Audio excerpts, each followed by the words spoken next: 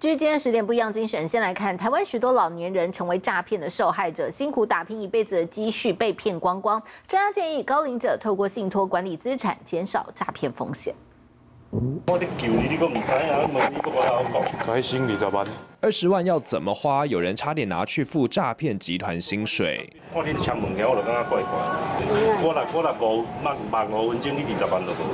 七十一岁蔡姓老妇人还算幸运，遇上人民保姆守住一些老本。至于嫌犯则当场被逮。你现在会涉嫌诈欺哦，我们就要把你逮。警方在超商里一听到投资股票这敏感关键字，直觉有鬼，心觉有意而上前盘查，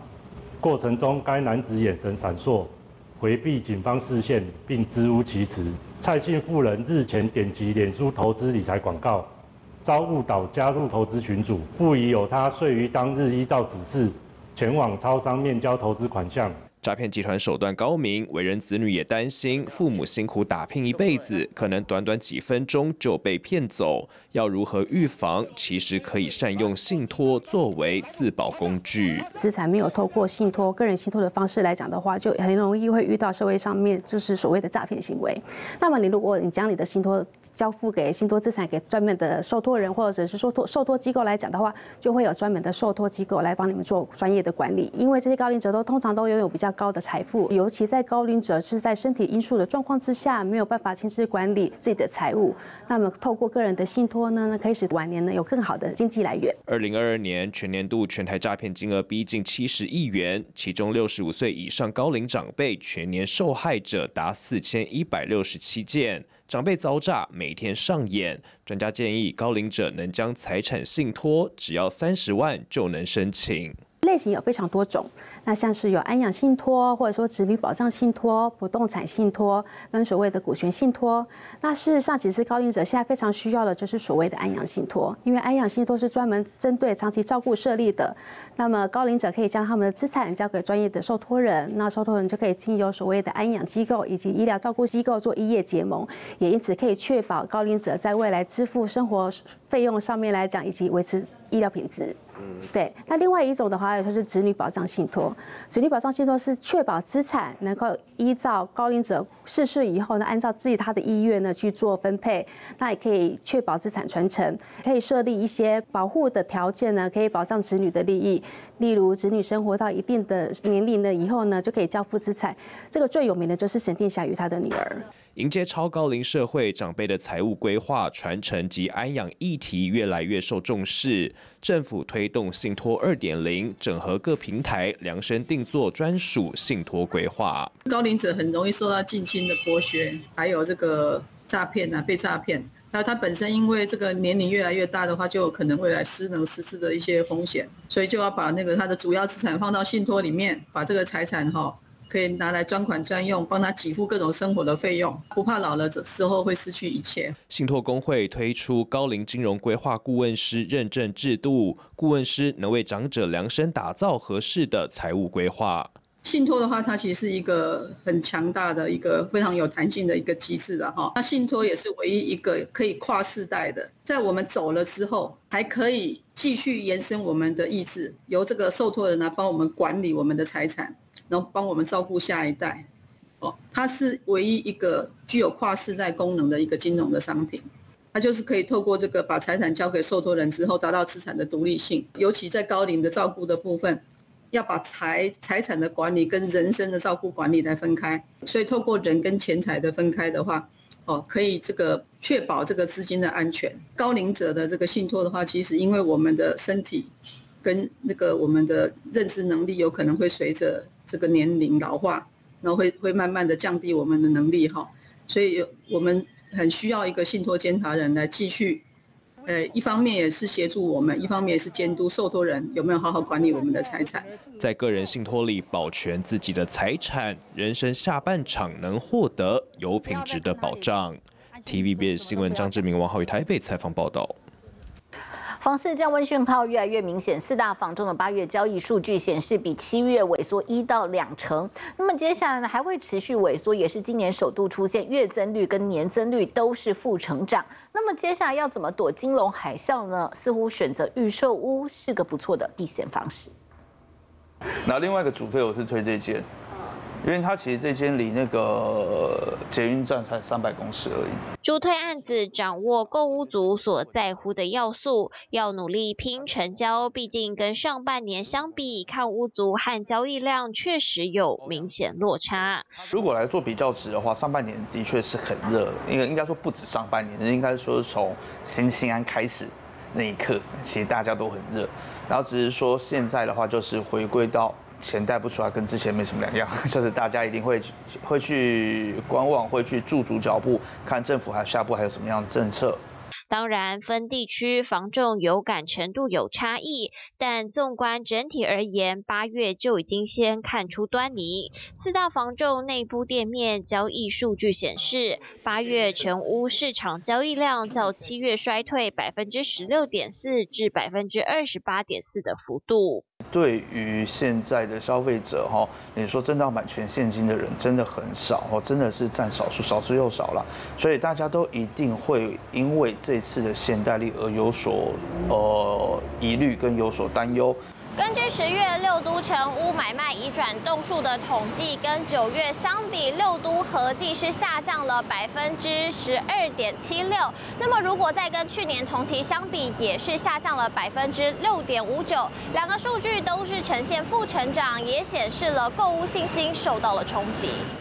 央行在九月寄出第七波限贷之后，今年首度出现月增率和年增率双双负成长，买方和卖方同处观望阶段，而这一股房市寒冬恐怕还只是刚开始。疫情这一波多头以来呢，其实交易量都只是持续的上滑了，它是疫情以来算是首先说哦，交易量下滑如此之多了。那如果是交易量下滑如此之多，哎，长期来看的话，确实有可能会到价格有一些冲击的影响。这个市场降温，再加上打房的因素，所以民众预期啊，这个政府打房不会手软，所以购物的信心就就就越预期说房价会下跌，那购物信心就会往下走。所以整个的预售跟成屋大概会持续到呃农历春节以后，还是会持续这个量会缩。房价松动的时候，那个买盘才会陆续的进场。那这个时候呢，稍微量就会稍微回温。价格若松动，跌幅程度还是要看区域地段。不过李同荣也提出数据，今年因为新庆安效应助燃，交易量本来预期会冲破三十六万户，只是央行第六、第七波连续打房措施实施之后，预估全年交易量成长约百分之十二到百分之十五，估计约在三十四点五万栋左右。难道现在这时刻预售屋是避风头的最佳选项吗？新青安虽然是说，呃，有限贷令，但是你排队还是排得到。但是你去选选择预售屋，现在虽然没有限贷令的问题，但是未来还是有贷款的问题。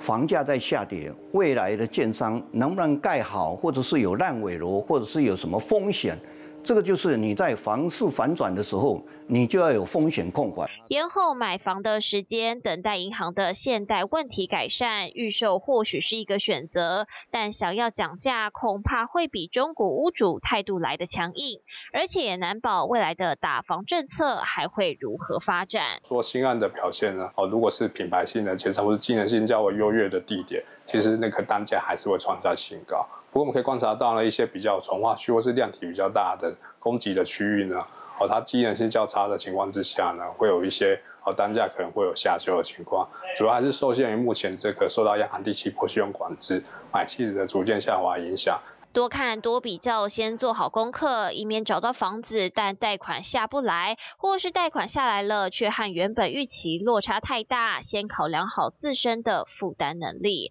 TVB 新闻张志明、就宣台报道。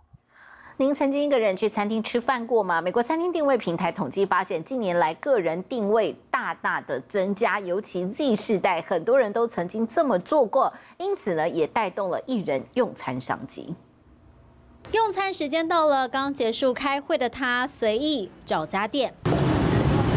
想吃什么就点，吃饱了想再多坐一下就坐，也不用管其他人眼光。其实还蛮长的，对，因为我现在自己嗯自己这样远距离会用网络工作，不会每一天都会有人可以一起，虽然有时候会跟朋友约咖啡厅，但不会每一天都约，所以大部分时间都还是自己。上班族出办公室吃饭是一样的概念，只是说我们也没有从办公室出来，所以也都也没也不会有一群人在旁边可以等着邀这样子。同事都不在台湾，要见面通通靠视讯。自从疫情后，很多人就像他一样远端工作，所以也就很很习惯独自一个人用餐。因为真的说吃饭，你要说孤单，比起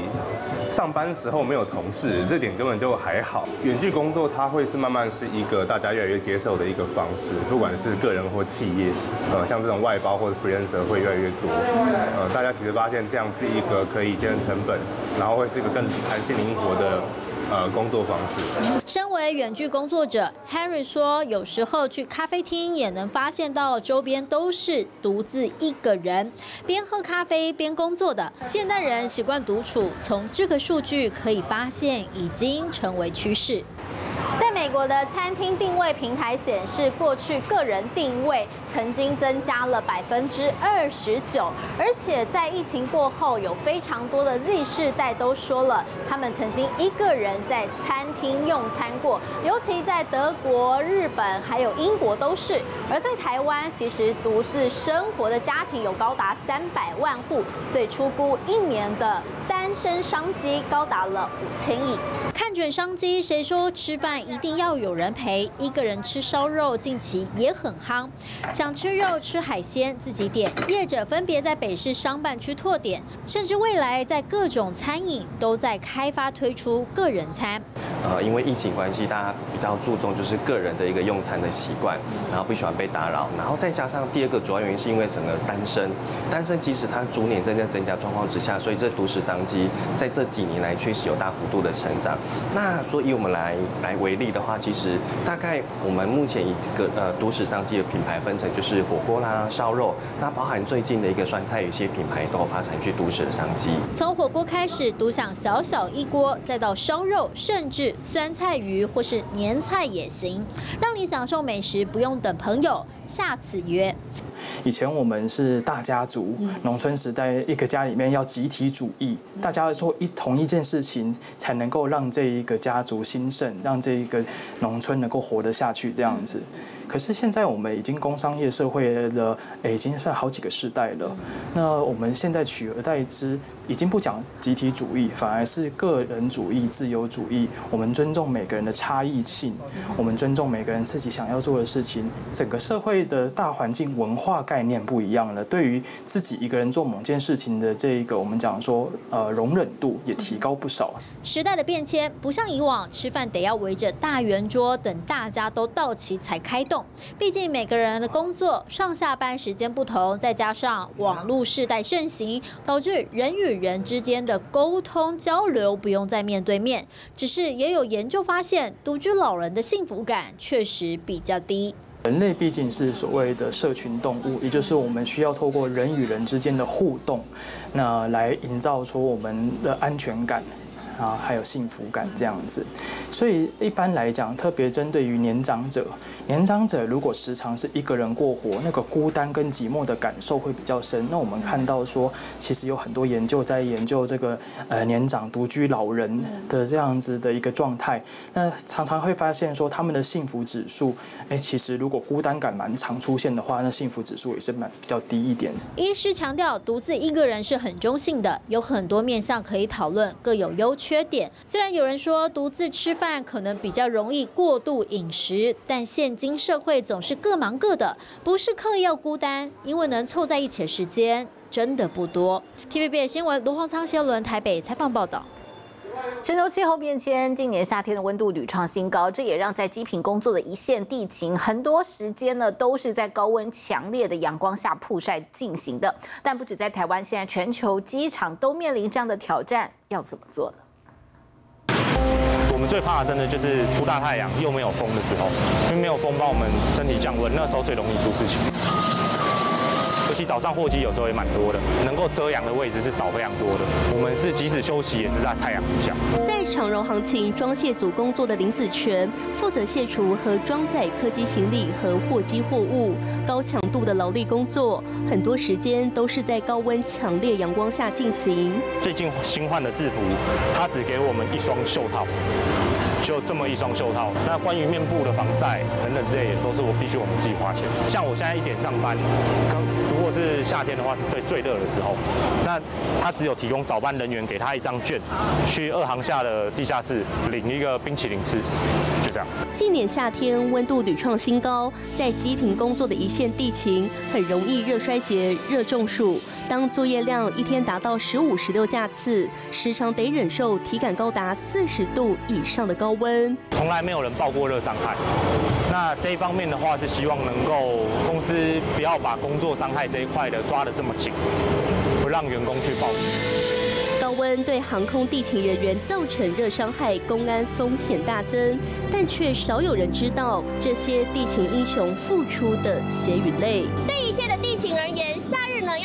遮蔽的机坪工作呢是相当的辛苦，加上机坪的地面呢是以水泥铺设，气温呢常常比同区的街道高出十度以上。但目前台湾的行情工资呢，除了宣导员工要多喝水、配发袖套还有帽子之外呢，其实并没有更积极还有体制面的降温做法。全球机场都面临极端高温的挑战。日籍航空 ANA 日前宣布，在日本国内机场替地勤添购有风扇的反光背心，通风降温。樟宜机场则是增设二点五公尺高的休息区，冷空气会在吊舱内吹出并循环。另外，香港机场管理局在停机坪设置四十九个休息区，安排五台流动饮用水供应车，让工作人员坐下来休息，补充水分。各国开始砸重本投资，增加新的消暑设施，协助地勤降温。新加坡的这个樟宜机场，他们其实就是有安装那个降温的按钮，可以让地勤人员来按下那个降温按钮，那那个机坪的作业环境就可以适度降温。哦，那这就看资方他愿不愿意去投资。像中国、澳洲或者很多东亚的国家，那个因为现在高温极端气候是非常严重的，那到一定温度以上的时候，其实是会放高温假，或至少是可以暂停工作。那除了这种措施之外，政府也是有规定说，例如说这种情况下需要还是需要员工出勤的话，要给付高温津贴。或是提供他必要的治安防护措施，防止他发生热伤害。而我国职安署职业安全卫生设施规则有规定，在高温环境下，雇主应采取危害预防措施，包括降低作业场所温度、提供阴凉休息区、适当饮料和调整作业时间等等。但在实务操作上，高温环境的劳检认定存在一定的困难度。另外，劳动部在高气温户外作业劳动热危害预防指引中。也有明定雇主应参考气象署发布的温度及相对湿度资讯，评估热危害风险等级。不过指引也只属于建议性质，并没有强制性法律效力。这个指引虽然有利益良善，可是实际执行起来很难直接保护到。一线员工，包含地勤或其他的户外工作者，那那个规定里面都只是写说，如果发生有危险之余，员工是他们是可以暂停下来休息的。如果人力不足的情况底下，然后员工又无法判断到底现在是不是危险，基本上员工自己是不敢随便说，哎，那我现在要停下来。长期以来，我们地勤业劳工跟雇主都知道，在机坪那种高温的环境下，是会有热伤害的风险很高。但是呢，资方他其实是不愿意让劳工呢来休息的，目的就避免那个延误。那这个当然是在法律上来讲是有问题。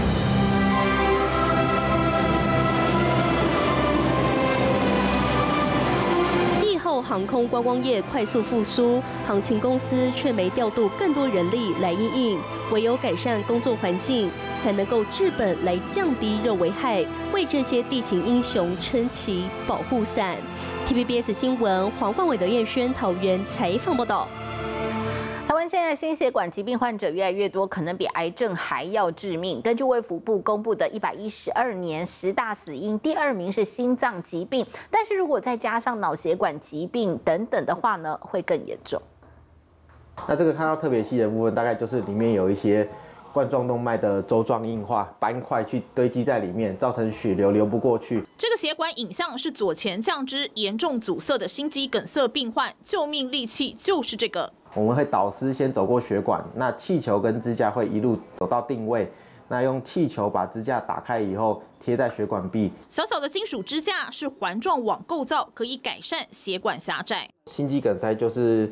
呃一些不稳定的周状硬化的斑块破裂，那造成血管呃里面的血栓形成，或者是血小板去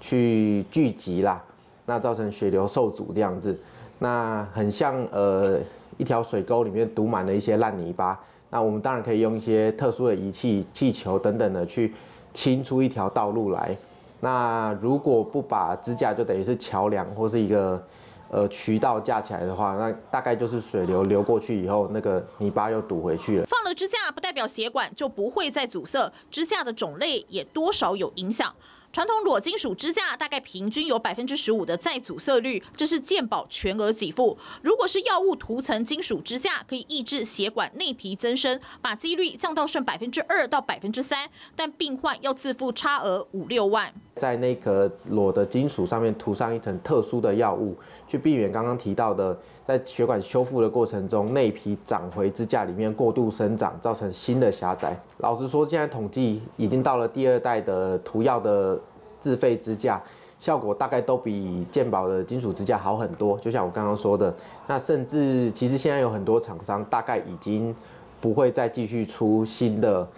健保的金属支架，他们慢慢就会被呃时代淘汰。健保只给付最阳春的支架，未来势必得跟上新药新医材的进步。医生也提醒，不管装什么支架，都要搭配好的生活习惯，像是有抽烟的病患得戒烟，得控制好三高，避免肥胖等等。台湾现在心血管疾病患者越来越多，可能比癌症还要命。根据卫福部公布的一百一十二年十大死因，第二名是心脏疾病，若加上第四名的脑血管疾病，也就是中风，还有第五名的糖尿病和第七名的高血压，死于心血管相关疾病的人数高达五万六千多人，比第一名的癌症人数多。这个是一个非常强韧的组织，就像你这样去扯，它是不可能被你扯坏的。这个强度和弹性很好的管状物就是人工血管，当发生主动脉剥离时，就需要置换人工血管救命。而心脏外科医生观察到，现在心血管疾病年轻化的趋势让人惊讶。一开始我在当住院医师的时候，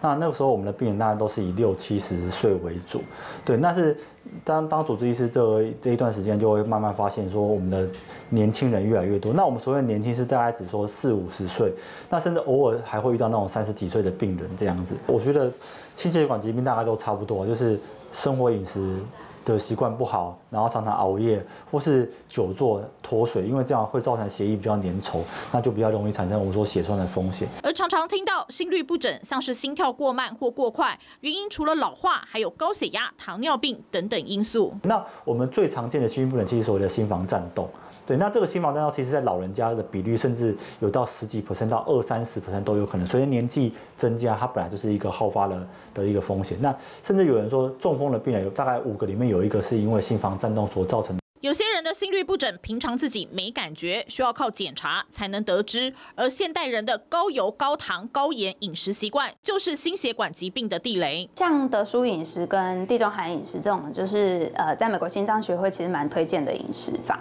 那它就是包含可能会大量的蔬菜跟水果，然后再来还有就是摄取呃。